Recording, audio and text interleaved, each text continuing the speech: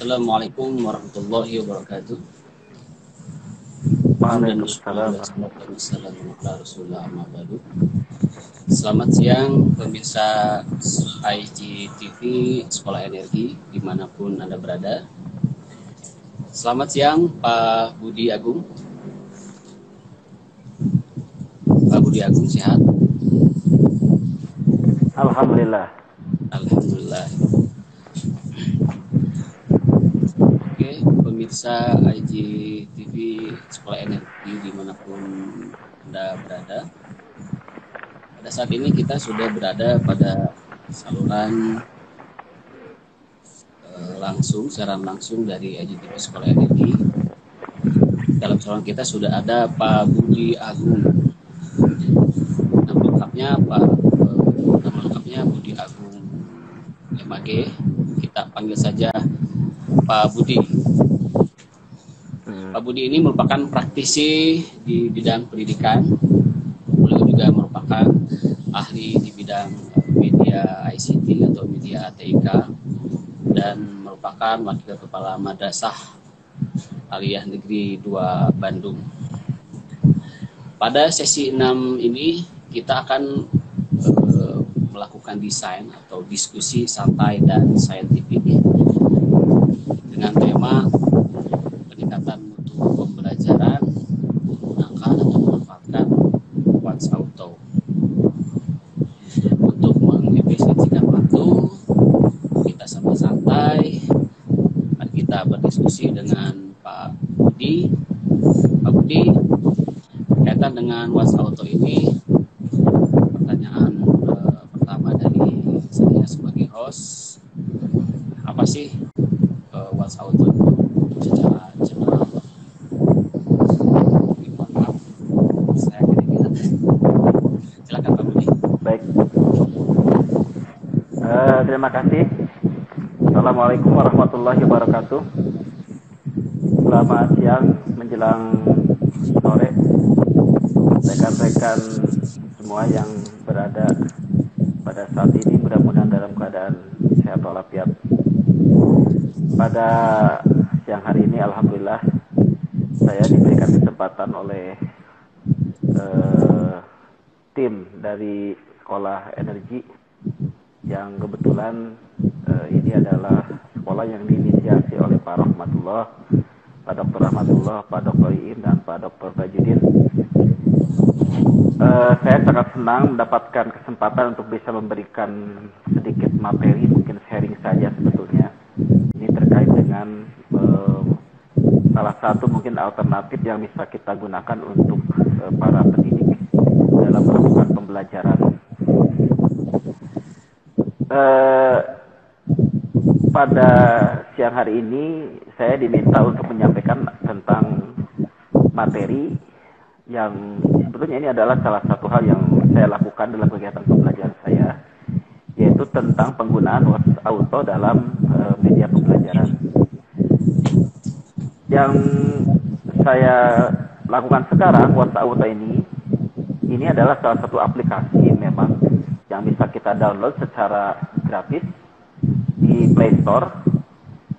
Pada prinsipnya WhatsApp Auto ini sebetulnya aplikasi yang digunakan untuk membalas pesan secara otomatis sebetulnya. Jadi ketika misalnya ada pesan masuk Assalamualaikum maka memungkinkan dengan menggunakan aplikasi WhatsApp Auto ini bisa menjawab langsung Waalaikumsalam dan beberapa pengaruh bisa kita manfaatkan sehingga eh, apa yang diharapkan oleh pengguna WhatsApp Auto ini bisa eh, optimal. Seperti itu mungkin gambaran secara umum tentang aplikasi WhatsApp Auto. Oke. Kemudian berkaitan dengan sifatnya Pak Budi dalam setiap eh, model, kemudian dalam setiap pemanfaatan eh, video itu selalu ada sifat. Nah, bagaimana dengan sintaks dari eh, pemanfaatan WhatsApp Auto ini dari mulai perencanaan oleh guru, kemudian eh, implementasi pembelajaran memanfaatkan WhatsApp Auto dalam eh, seperti apa sih?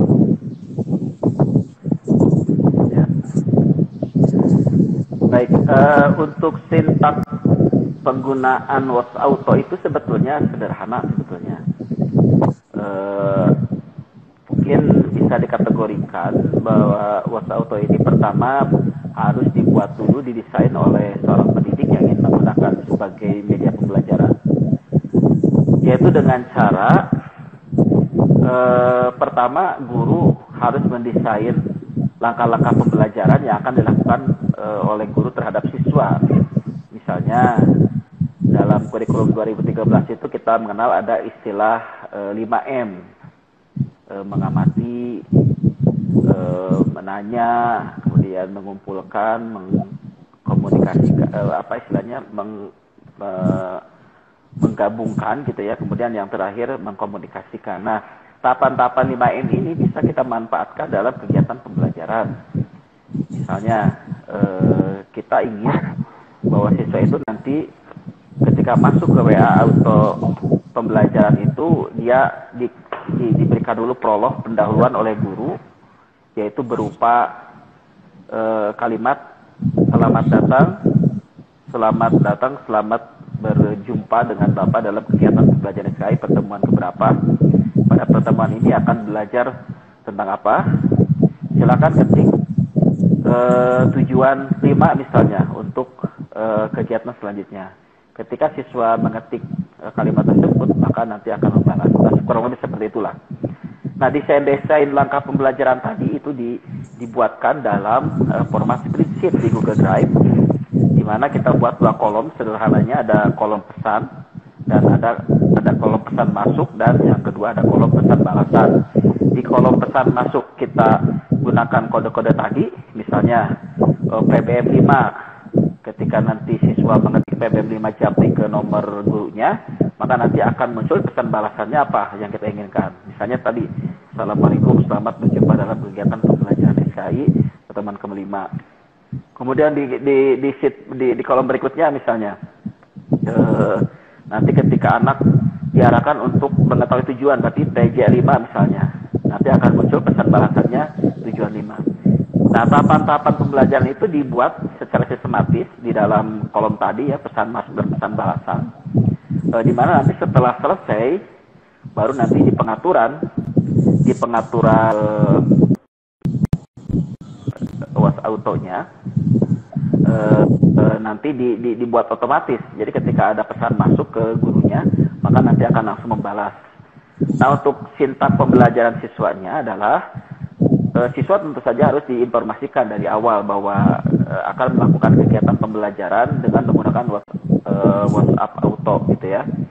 Nah nanti siswa diarahkan untuk uh, mengetik PBM 5 misalnya dan japri ke nomor uh, saya sebagai seorang gurunya.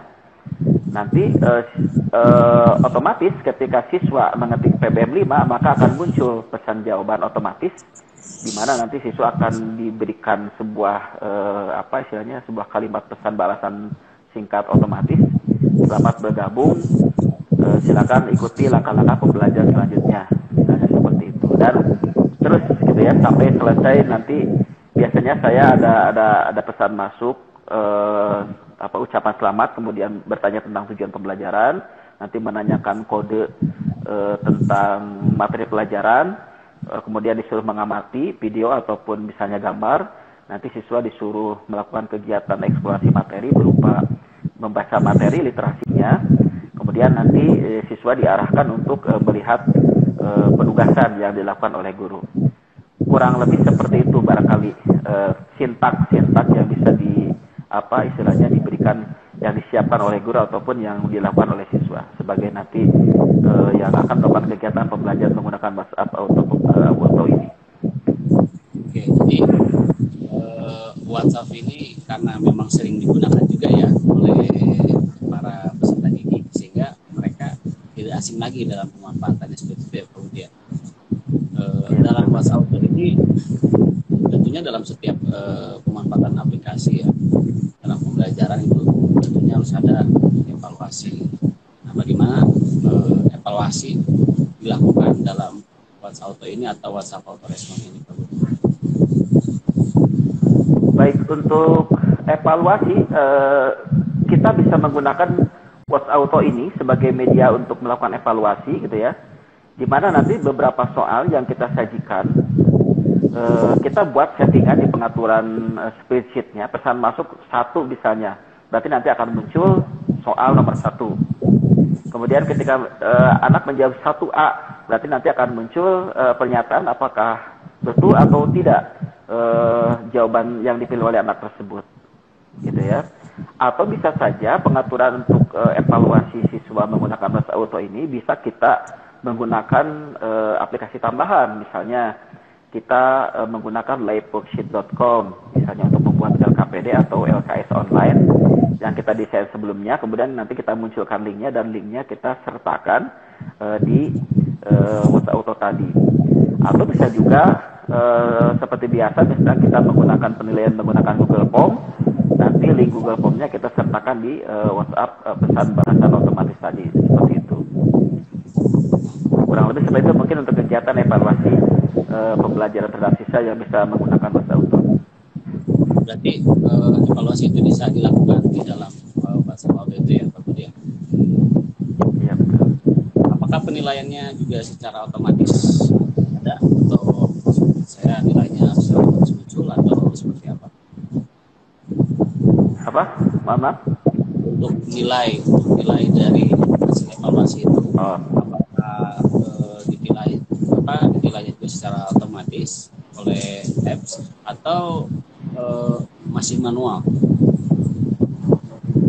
Karena kita kalau kita menggunakan uh, evaluasi menggunakan auto tadi, sebetulnya nanti ketika pesan masuk misalnya siswa menjawab nomor satu adalah A, gitu ya, satu A misalnya, maka kita bisa uh, berikan opsi ketika menjawab satu A itu betul, maka nanti selamat uh, jawaban anda benar. Nah, bisa seperti itu. Atau bisa ketika jawaban salah mohon maaf jawaban anda salah.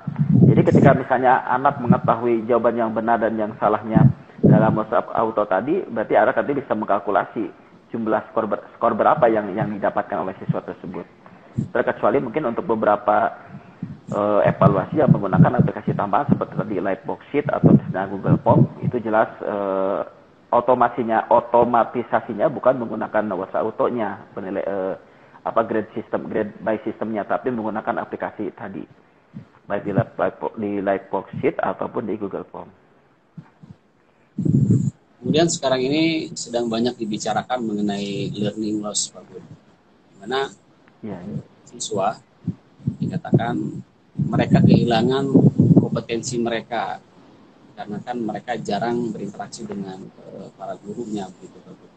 Nah, uh, bagaimana Uh, menurut Pak Budi pemanfaatan media WhatsApp Auto ini kaitannya dengan uh, learning loss? Apakah ini nanti akan efektif gitu atau memang harus di blended atau hybrid dengan uh, yang lain gitu atau harus uh, sudah tatap muka gitu Baik. Betul memang bahwa pada saat ini eh, mau tidak mau dengan musim pandemi ini anak-anak siswa kita itu memang betul-betul eh, mereka learning loss gitu ya. Jadi kehilangan kesempatan mereka eh, baik itu kehilangan dari segi belajar aspek kognitifnya, aspek aspek keterampilannya gitu ya.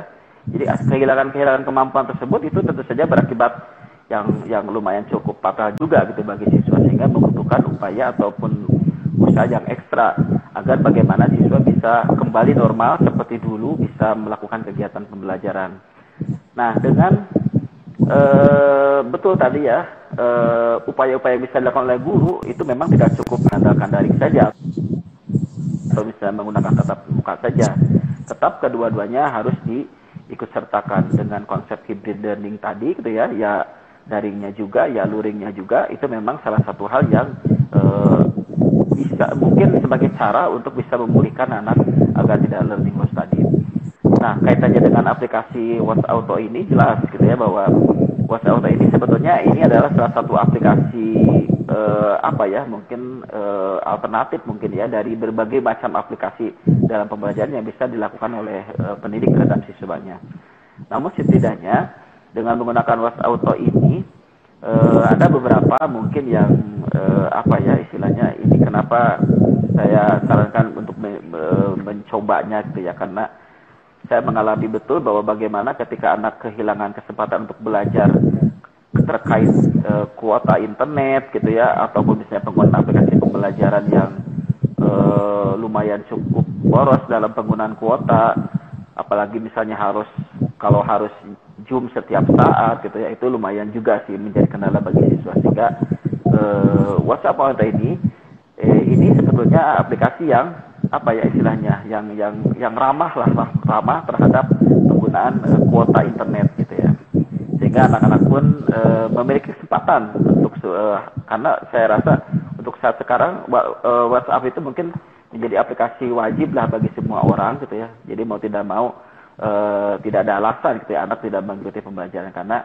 dengan WhatsApp Auto ini ini bisa bisa dimanfaatkan. Kurang lebih seperti itu. Berarti tetap ya bahwa live synchronous learning itu tetap harus dilakukan atau mungkin bisa disiasati dengan virtual uh, virtual synchronous learning ya itu ya. Artinya tatap muka itu harus ada gitu ya lagi uh, sekarang sudah mulai untuk madrasah-madrasah diperbolehkan tatap muka gitu ya dengan tentunya persyaratan-persyaratan yang ketat. Artinya Watch Auto ini bisa dimanfaatkan begitu ya ya. Dimanfaatkan untuk blended uh, aplikasi aplikasinya menggunakan Watch Auto kemudian uh, harus tatap muka juga seperti itu sehingga hasilnya pun mungkin bisa jadi berbeda dengan 100% menggunakan Watch Auto kemudian Pak Budi tadi sudah disinggung bahwa WhatsApp itu sudah sudah biasa digunakan oleh masyarakat ini sehingga mereka tidak asing lagi untuk menggunakan ya, tidak sulit lagi untuk mengajar mengajarkannya uh, mengajarkannya untuk menggunakan ya. Nah itu mungkin salah satu uh, kelebihannya. Nah menurut kamu sendiri apalagi kelebihan pemanfaatan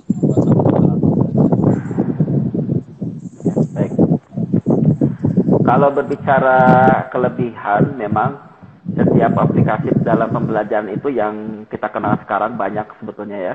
Itu sebetulnya ada kelebihan-kelebihannya eh, sebetulnya gitu ya.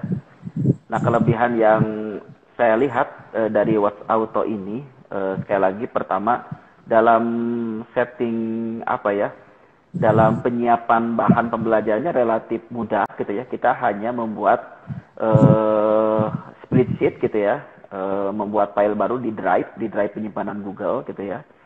Kita menggunakan spreadsheet gitu ya sama seperti Excel gitu ya ada pesan masuk ada pesan balasan sebetulnya seperti itu formatnya. Cuma nanti di pesan masuk kita kasih kode misalnya untuk nanti memunculkan jawaban otomatisnya apa. Misalnya kalau misalnya TJ 5 berarti tujuan pembelajaran 5 maksudnya. Itu nanti akan muncul pesan jawabannya tujuan pembelajaran e, pada pertemuan kelima adalah e, bla bla bla bla bla seperti kurang lebih. Nah, itu pertama dalam e, segi setting atau pengaturan untuk e, apa istilahnya desain pembelajarannya relatif mudah. Yang kedua, e, tadi sudah saya sampaikan bahwa karena WhatsApp atau ini seperti WhatsApp biasa gitu ya, jadi berbasis e, pesan masuk pesan balasan gitu ya dan itu e, ramah kuota gitu ya. Jadi e, cukup sangat murah lah istilahnya. Kalau di kalangan siswa itu ada istilah mereka e, membeli kuota chat dengan kuota chat mereka bisa e, menikmati pembelajaran menggunakan WhatsApp Auto ini. Berbeda kalau menggunakan aplikasi-aplikasi pembelajaran lain misalnya yang lumayan cukup berat juga gitu bagi siswa. Itu sih e, e, kelebihannya. Di samping itu juga mungkin kelebihan-kelebihan lainnya adalah siswa Eh, dengan pembelajaran menggunakan WhatsApp Auto ini, uh, mereka uh, melakukan kegiatan pembelajaran dengan uh, dengan sistem student center based learning gitu ya. Jadi di mana siswa menjadi uh, subjek pembelajar gitu lah istilahnya. Jadi ketika mereka menjawab gurunya untuk uh, mengikuti pembelajaran, maka uh, apa siswa itu sendiri yang uh, menservis lah menservis pembelajaran untuk dirinya sendiri dengan uh, tadi harus uh, texting ke gurunya mengirim WA ke gurunya uh, kode gimana nanti siswa bisa mengikuti pembelajaran samping itu juga uh, WhatsApp auto ini uh, apa ya uh, selain kuota juga tadi apa uh, mungkin ini lebih lebih apa ya karena kebiasaan karena mungkin ber, ber WA itu bermedia sosial itu sesuatu hal yang menjadi perbuatan yang santai. Jadi terkesan pembelajaran itu dilakukan serius tetapi santai dan itu bisa dilakukan kapan saja. Jadi tidak harus di jam waktunya. Jadi ketika misalnya siswa ingin melakukan kegiatan pembelajaran dengan WhatsApp auto ini e, dilakukan nanti misalnya pada malam hari bisa. Pada siang hari bisa. Dia tergantung kemauan siswa. Seperti itu mungkin. Jadi e, lebih bersifat fleksibel sebetulnya kalau waktu. Oh, berarti pemanfaatan waktu seperti ini samping e, sinkronus ya. Dapat real time juga eh, sinkronus ya tidak ada time pun bisa ya bisa digunakan di mana saja gitu ya. sangat menarik sekali ini pembahasan berkaitan dengan pemanfaatan WhatsApp auto ini jadi dikatakan bahwa dengan menggunakan auto ini siswa bisa hemat kuota gitu ya jadi menarik sekali sebenarnya dengan memanfaatkan WhatsApp auto ini bisa lebih hemat ya kan kemudian juga bisa efektif artinya dengan hemat ini juga bisa dikatakan lebih efisien ya pemanfaatannya nah itu hal yang berkaitan dengan kelebihan bagaimana dengan kekurangannya Bapak. kita tahu bahwa ketika menggunakan atau memanfaatkan aplikasi eh, apa pun ya aplikasi pembelajaran apa pun itu ada kelak ada kekurangan terkait dengan ya, sulitnya Pak TJ mohon maaf sepertinya anginnya kencang ya di luar bagaimana Pak Boy? suaranya agak gemuruh gitu Oh, ini memang ada angin besar ya. ya betul Iya. halo ya Eh, mohon maaf ya barangkali eh, hostnya sedang mencari situa apa lokasi mungkin. Kebetulan saya mendengarnya sangat crowded. Eh, ya mungkin izin menyampaikan oh kebetulan di sini ada ada yang sudah bergabung terima kasih.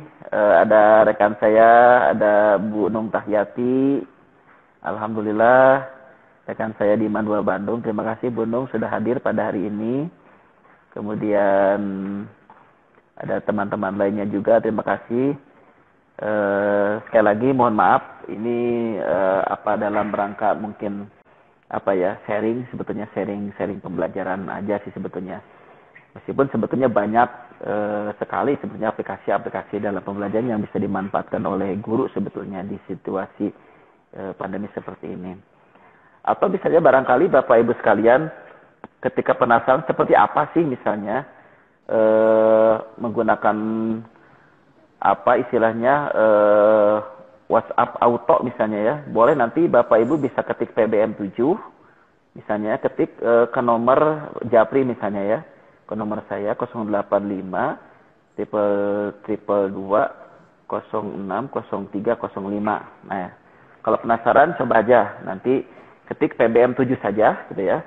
Kemudian nanti japrikan ke nomor saya. Insya Allah nanti eh, akan muncul pesan eh, balasan otomatis. Nah, kebetulan hostnya sudah kembali hadir lagi. Mohon maaf ya. Soalnya tadi anginnya lumayan cukup kencang kayaknya di luar itu ya. Iya, saya izin dulu untuk menyapa Pak Dr. Yasir, kemudian para mahasiswa, para guru, pemirsa IGTV Sekolah Energi, mudah-mudahan semuanya sehat. Oke, lanjut ke pertanyaan yang barusan yang sempat ini berkaitan dengan kekurangan pemanfaatan eh, media ICT atau media Nah, WhatsApp Auto ini kan salah satu media ICT. Nah, biasanya adalah pemanfaatan media ICT itu kekurangannya adalah sulit melakukan penilaian efektivitas. Nah, bagaimana menurut Budi menyikapi hal ini? Apakah tetap memerlukan apa muka, gitu kan, pembelajaran muka, atau dengan pemanfaatan media apa, dengan pemanfaatan WhatsApp auto ini juga cukup seperti apa? Ya, baik. Uh, betul ya, di samping setiap macam aplikasi pembelajaran itu ada kelebihan, pasti ada kekurangannya sebetulnya. Nah, kekurangan-kekurangan ini e, memang ini menjadi salah satu yang e, ada juga sebetulnya gitu ya di di di WhatsApp Auto ini. Di mana dalam pembelajaran WhatsApp Auto ini menggunakan WhatsApp Auto ini e, salah satu kekurangannya adalah e, mungkin jawaban yang diharapkan berbentuk video atau gambar itu tidak bisa langsung file video atau gambarnya. Tapi e, hal itu bisa disiasati juga sebetulnya dengan menggunakan link gitu ya. Jadi video ataupun misalnya gambar yang kita harapkan itu muncul dalam eh, konten pembelajaran itu kita simpan dulu misalnya dalam Drive, kemudian nanti linknya di, di diinsertkan dalam pesan balasan otomatis tadi. Itu mungkin untuk untuk mengantisipasinya. Kemudian apakah dengan evaluasi pembelajaran uh, itu grade by system juga uh, uh, selama ini yang saya pahami gitu ya kalau menggunakan WhatsApp Auto memang tidak langsung muncul skor berapa, cuman kita bisa menentukan jawaban yang dijawab oleh siswa itu benar atau tidak saja seperti itu. Kalaupun mau misalnya evaluasi dengan sistem grade by system, itu mungkin uh, kita bisa menggunakan aplikasi tambahan lainnya seperti misalnya liveboxsheet.com. Uh, di sana nanti kita bisa buat LKPD atau LKS online di mana nanti hasilnya itu bisa langsung uh, muncul gitu ya. Berapa dari uh, jumlah total skor yang dikerjakan oleh siswa atau misalnya menggunakan Google Form yang sama itu juga bisa di setting dan nanti skornya muncul di siswa. Seperti itu mungkin Pak Tajudin. Ya, izin memberitahu ini kepada pemirsa, Pak Budi ini juga seorang konten kreator. Itu eh, di YouTube sangat eh, sangat kreatif sekali, kreatif, inovatif dan adaptif. Bisa dilihat di YouTube-nya yaitu Budi Agung, Budi Agung. Atau nanti kalau ada pemirsa yang ingin belajar langsung atau ingin bertanya mengenai e, pemanfaatan berbagai macam media TIK yang berkaitan dengan pembelajaran bisa bertanya ke Pak Budi Agung atau bisa menghubungi tim kami di Sekolah Energi untuk menghubungkan kepada Pak Budi Agung. Oke, Pak Budi Agung sangat luar biasa sekali ini berkaitan dengan Pak Budi Agung. Saya ingin bertanya ini berkaitan dengan eh, pengalaman Pak Budi memanfaatkan media TK ya. Tadi di samping tentang WhatsApp Auto, itu kemudian eh, pemanfaatan WhatsApp Auto ini dilakukan karena Pak Budi sudah memanfaatkan media-media media-media yang lainnya. Nah, Kenapa kalau di pada saat ini WhatsApp atau dibandingkan media-media yang ada media yang karena juga seperti itu.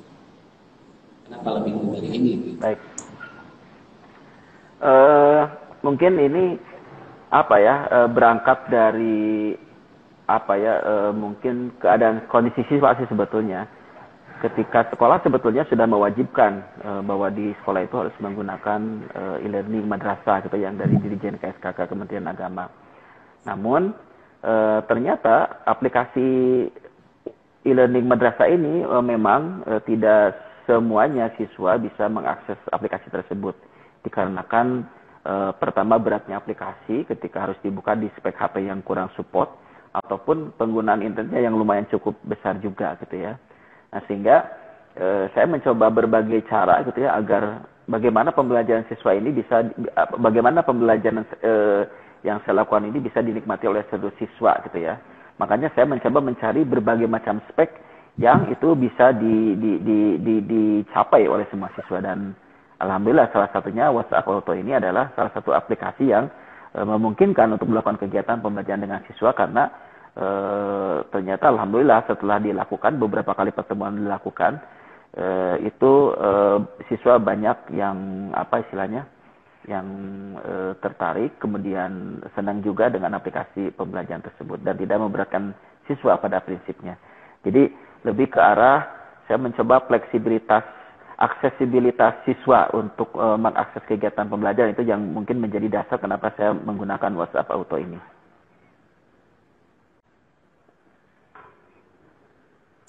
Oh ya, untuk uh, pengetahuan kepada pemirsa bahwa Pak Budi ini juga seorang seorang peneliti. Beliau uh, banyak meneliti hal yang berkaitan dengan dunia pendidikan, terutama yang berkaitan dengan pembelajaran berbasis aplikasi. Saya membaca penelitian beliau itu yang berjudul berkaitan dengan platform itu sudah diterbitkan di Space, artinya sudah mendunia, penelitiannya sudah mendunia dan sudah eh, banyak dikutip ini berkaitan. Kemudian juga ada yang berkaitan dengan e-learning madrasah juga sudah publish. Jurnal nanti bisa di searching bisa dicari. Nama Budi Agung nama Budi Agung di Google Scholar. Itu ada aplikasinya masuk yang berkaitan dengan pemanfaatan dan sekarang ini Pak Budi eh, juga sedang concern berkaitan dengan modernisasi pendidikan pesantren ini juga tidak terlepas dari eh, hal yang bersifat pemanfaatan teknologi. Hanya saja ini di dalam dunia pendidikan Islam. Dan Pak Budi juga merupakan kandidat doktor pendidikan Islam. Allah dalam waktu dekat. Amin. Ya eh, apa ya sebetulnya ya apa ya mungkin yang saya lakukan itu sebetulnya berangkat dari hal-hal sederhana sih sebetulnya. Di zaman sekarang memang peranan teknologi gitu ya di era disrupsi ini memang menjadi sesuatu hal yang e, memang harus harus harus terjadi gitu ya. Kita mau tidak mau di di situasi apa pun gitu ya mau di pesantren mau di sekolah e, berinovasi memang menjadi satu hal yang harus dilakukan e, integrasi e, digitalisasi dalam pendidikan itu menjadi sesuatu hal yang harus dilakukan karena memang eranya e, seperti itu gitu ya Justru kalau kita tidak menggunakan pendekatan-pendekatan digitalisasi dalam pendidikan, e, nampaknya kita akan tertinggal gitu. Nah, e, sebetulnya apa ya banyak sebetulnya ya aplikasi-aplikasi pembelajaran gitu ya yang bisa kita e, apa ya yang bisa kita adaptasi untuk pembelajaran yang bisa kita coba gitu ya. Namun sekali lagi memang ini membutuhkan apa ya? E, yang pertama mungkin saya melihatnya e, perubahan mindset dulu sebetulnya dari seorang pendidik kalau memang seorang pendidik memiliki apa ya eh, perhatian lebih untuk pendidikan agar bisa menjadi maju gitu ya memang harus melakukan berbagai macam inovasi ya prinsipnya ya, mengadaptasi lah mengadaptasi pembelajaran-pembelajaran yang eh, menggunakan eh, pendekatan teknologi gitu ya internet ataupun aplikasi-aplikasi yang bisa kita manfaatkan kita cobakan dan bagus juga kalau uh, kita ukur gitu ya sejauh mana efektivitasnya kemudian kita buatkan karya tulisnya kita submit di jurnal misalnya gitu ya. Itu menjadi satu penelitian yang mungkin bisa apa ya bisa membuktikan mungkin eksistensi kita bahwa uh, sesuatu hal yang kita harapkan itu uh, setelah kita coba adaptasi kita coba lakukan kemudian kita coba teliti uh, nanti kita bisa simpulkan seperti apa seperti itu ya berangkat dari sana sih. Di samping memang eh, ya mohon doanya juga dari rekan-rekan semuanya. Alhamdulillah sekarang lagi tahap menyelesaikan program S3 gitu ya. Justru sebetulnya saya banyak berguru dari Pak Tajudin itu yang sudah selesai. Kebetulan ini host ini adalah sudah doktor gitu ya, Pak Dokter Tajudin. ya kurang lebih seperti itulah mungkin Pak Tajudin pengalaman-pengalaman yang saya lakukan ini menarik uh, Pak Bud, pemirsa kita itu bukan hanya guru, bukan hanya dosen, bukan hanya peserta juga, mungkin ada juga yang di kalangan uh, bisnis. Pak.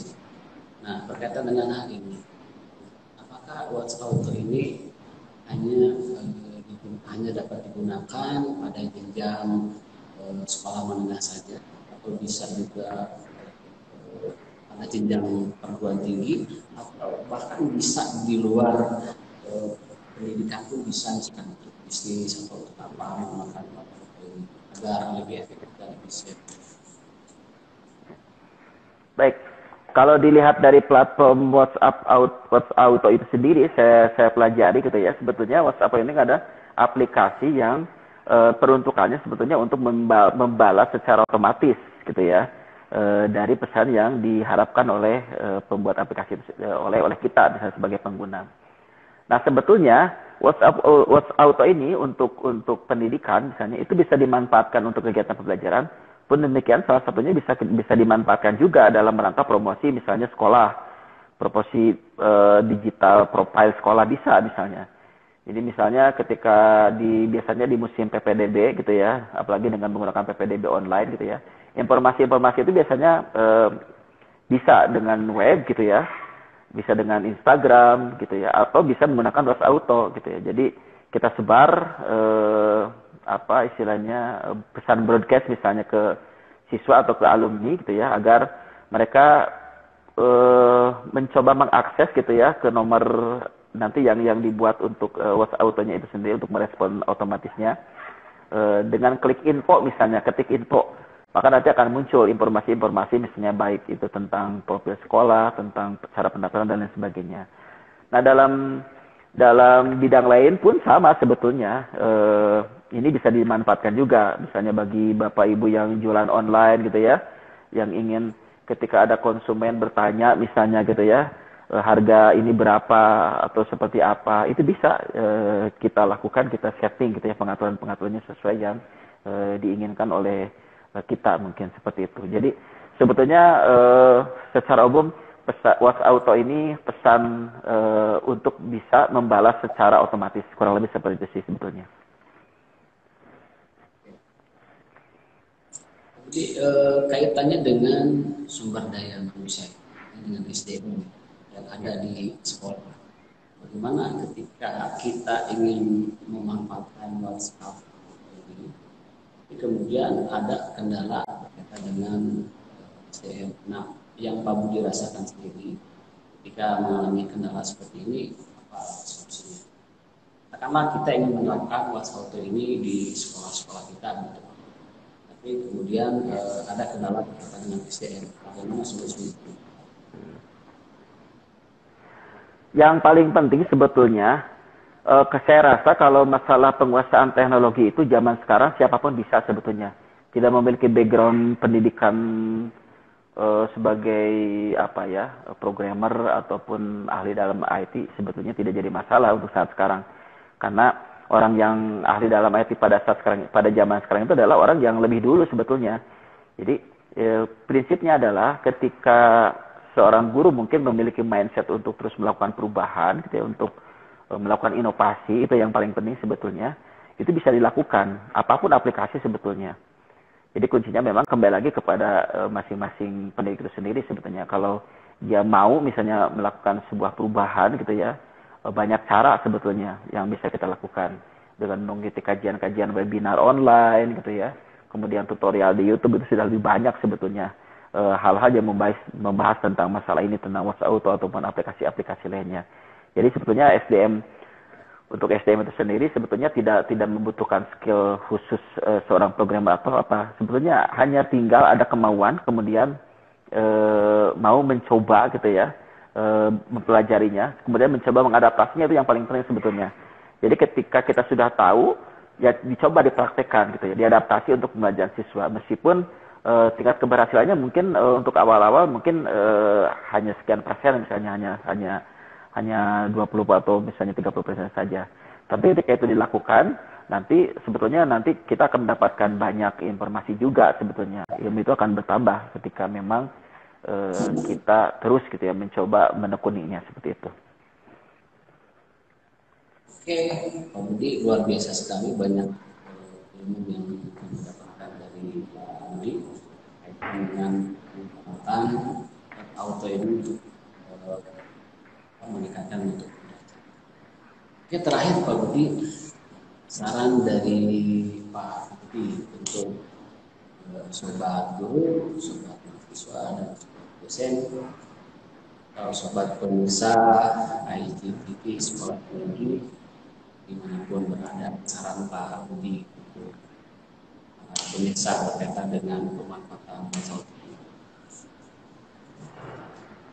Ya, mungkin saran saya adalah eh, jadilah eh, seorang pendidik mungkin ingin bagi bagi para pendidik itu ya yang memberikan pelayanan prima lah untuk anak-anak didik kita. Anak-anak didik kita e, e, mereka berada di era milenial, maka perlakuan pun ya harus milenial gitu ya dengan pendekatan digital. E, bukan dengan perlakuan kolonial. Mohon maaf. Ketika dulu mungkin kita belajar waktu sekolah itu mungkin pendekatan-pendekatan lebih kepada membaca gitu ya. E, sentuhan-sentuhan digitalnya tidak ada dan itu saya rasa mungkin tidak adil kalau itu diterapkan pada anak-anak zaman anak-anak milenial sekarang. Jadi guru itu memang harus harus harus terus gitu ya mempelajari bagaimana perkembangan-perkembangan teknologi sekarang gitu ya dan uh, menyesuaikan lah istilahnya. Uh, dan jangan jangan ragu-ragu gitu istilahnya untuk melangkah untuk mencoba mengadaptasi hal, -hal tersebut. Karena ini juga mungkin sesuatu hal yang e, diharapkan juga apalagi oleh Menteri Pak Mas Nadiem gitu ya. Pendekatan-pendekatan digital untuk pembelajaran. Bahkan di sekolah-sekolah e, dinas pendidikan itu kan sekarang sudah mulai digalakan ada sekolah digital gitu ya. Jadi sekolah digital itu e, sebagai upaya sebetulnya meskipun nanti pembelajaran dilakukan secara luring tetap gitu ya pembelajaran daringnya pun itu e, tetap e, menjadi sesuatu hal yang dilakukan. Jadi hybrid learning lah mengintegrasikan antara luring dan daring itu tetap dilakukan. Meskipun situasi pandemi sebetulnya sudah mudah-mudahan ke depannya sudah tidak ada. Seperti itu sih. Jadi terus berkarya untuk meningkatkan pelayanan kita pelayanan prima kita sebagai seorang pendidik untuk anak-anak didik kita agar mereka e, bisa e, tertarik dengan kegiatan pembelajarannya menyenangkan dengan pembelajarannya dan tentu saja ini dalam rangka upaya memang menyesuaikan dengan perkembangan zaman, kurang lebih seperti itu. Oke, luar biasa sekali, uh, Diago. Terima kasih atas uh, waktunya yang ya sangat-sangat uh, berharga sekali. Kemudian juga kami juga dari tim ini berterima kasih atas dari Kira-kira Pak Budi Agung untuk uh, closing statement berkaitan dengan pemanfaatan closing statement dari ya apa ya closing statementnya barangkali ya karena ini temanya tentang penggunaan WhatsApp uh, WhatsApp auto gitu ya untuk pembelajaran uh, ya mungkin closing statementnya bisa bisa mungkin saya mengatakan bahwa penggunaan WhatsApp Auto ini untuk WhatsApp Auto untuk pembelajaran e, secara signifikan e, berpengaruh pada peningkatan e, prestasi belajar siswa. Itu mungkin yang yang saya temukan dari siswa. Seperti itu mungkin kurang lebih Pak Tijo. Oke, terima kasih Pak Budi. Saya sampaikan sekali lagi. Kemudian terima kasih juga kepada para pemirsa yang sudah bersedia mengikuti live ini. Mudah-mudahan apa yang disampaikan ini dapat berharga dan dapat kita amalkan. Nah, terima kasih. Jadi kita tutup uh, live ayat ini dengan membaca Alhamdulillahirabbil alamin. Terima kasih kepada semuanya. Assalamualaikum warahmatullahi wabarakatuh. Waalaikumsalam warahmatullahi wabarakatuh. Terima kasih Pak Tijedi.